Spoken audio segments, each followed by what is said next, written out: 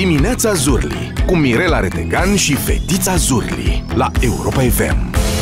Micul dejun Zurli la Europa FM.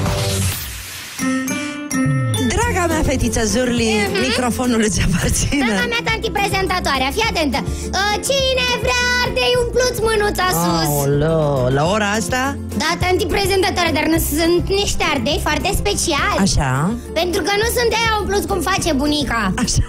Sunt niște ardei umpluți cu struguri Ardei umpluți cu struguri. Uite, să ia strugurel și poți să te joci și de basketul Așa. Uite, iei strugurelul, pui farfuria mai încolo și arunci, în, arunci aici să intre în ardeiuț. Ha, hai, bă, bă. Aproape la inimă. Nu iese ni... Uite, am nimerit, zi bravo. Bravo, bravo. Încă una. Bravo, Dacă fetiță. nimeresc trei, îmi dai uh, o înghețată. Uite, fii atent. Da. Nu-i frumos să condiționăm uh, cu uh, premiatul cu mâncare. A, bine, dacă bag uh, patru strugure, îmi dai înghețată. Doi am băgat, uite. Au.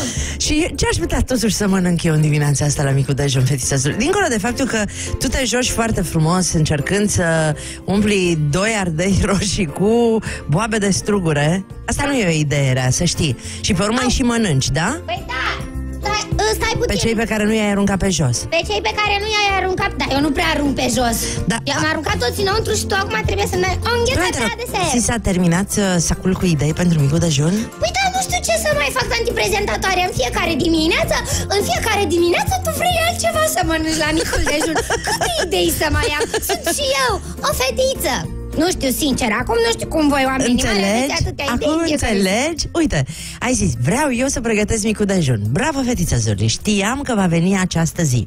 Așa că ieri, alaltă ieri, când am trecut pe la curtea veche pe la editură să semnez niște cărți, astăzi, astăzi este despre astăzi, am găsit acolo o carte semnată de prințesa Polonic, de Anca Ce Lungu. nume caragios Da, vreau neapărat să o cunoști pe Anca. Este foarte drăguță, este mămica unei fetițe superbe și este pasionată de gătit. Ea este prezentatoare de televiziune. A, e și reprezentatoare E și- și... pasionată de... ca și mine Ca și cum o să fii tu când o să fii foarte mare. Da. Supereroii din farfurie se numește cărticica ei și să știi că aici sunt foarte multe idei. Dacă vrei, Da. îți dau cartea să cauți niște idei pentru săptămâna viitoare. Bine, subliniază-le tu pe alea care îți plac și eu să le fac Și aș Ce? vrea să fii atentă la faptul că, uite, Anca spune așa, nu răsplătiți niciodată copilul cu mâncare. Ha? Nu e vorba de cazurile în care cel mic își dorește un fel de mâncare preferată, ci de a-i promite o prăjitură dacă ești cu minte, o înghețată dacă fac nu știu ce.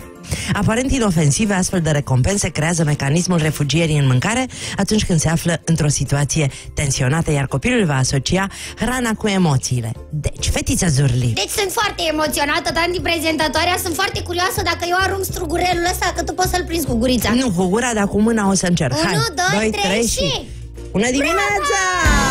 Dimineața Zurli cu Mirela Retegan și Fetița Zurli la Europa FM.